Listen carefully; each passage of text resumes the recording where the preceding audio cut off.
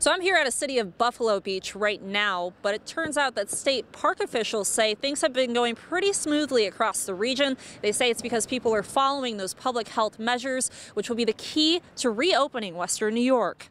Yesterday, I spoke to UB Chief of Infectious Disease, Dr. Thomas Russo. He said everyone's behavior this weekend was going to be a strong factor in determining Western New York's fate.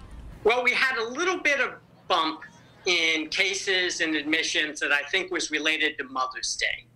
We've gotten past that. We've had several good days now. However, it's Memorial Day weekend, right? And people are getting together and gathering. Um, so I am a little concerned. State parks officials say that everyone has been following those public health measures, though. Over at Evangola State Park, officials tell me they had about 160 cars in the parking lot. Despite a crowded beach this Memorial Day, they tell me everyone who came kept a good distance from other people. They also tell me they noticed several beachgoers putting on their masks when they were getting too close to someone else.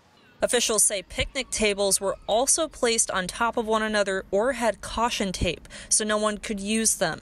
However, this is what it looked like at Evangola State Park this afternoon. Two on your side also checked out Buffalo Harbor State Park and Woodlawn Beach for about a half hour each today. Here's what it looked like at both of them this afternoon.